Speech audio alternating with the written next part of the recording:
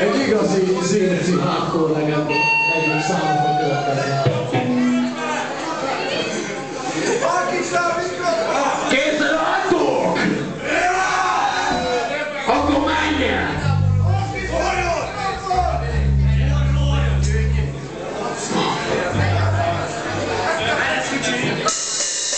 Yeah.